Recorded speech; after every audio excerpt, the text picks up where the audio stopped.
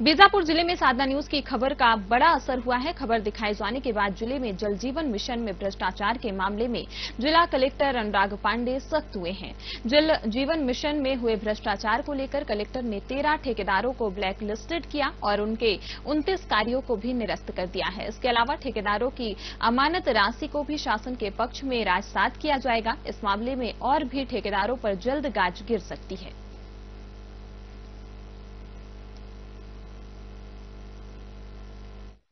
जल जीवन मिशन जो है, माननीय प्रधानमंत्री जी की एक बहुत ही अच्छी योजना है, जो हर घर नल पहुँचे। इसके लिए निरंतर प्रयास किए जा रहे हैं। बीजापुर थोड़ा विषम परिस्थितियों वाला कार्य करने वाला जिला है। यहाँ पे कुछ विगत माह से ही जो है, बहुत सारे हमने प्रकरण जो है निर्माण के लिए स्वीकृत किए थे।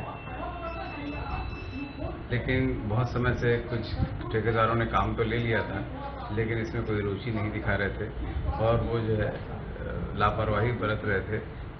बार बार उन्हें जो है, चेतावनी दी गई थी, लेकिन इसका उनके ऊपर कोई असर नहीं हुआ। इसलिए शासन के नियमों के अधीन उनका जो है जो है उन्हें काली सूची में डालते हुए उनकी अमानत राशि राजसात की गई है। ऐसे ही जो भी और जो भी हमारे और सम्माननीय ठेकेदार हैं अगर वो शासन के नियमों और समय अनुकूल कार्य नहीं करेंगे तो उनके ऊपर भी नियमानुसार कार्रवाई की जाएगी। जल जीवन मिशन जो है, माननीय प्रधानमंत्री जी की एक बहुत ही अच्छी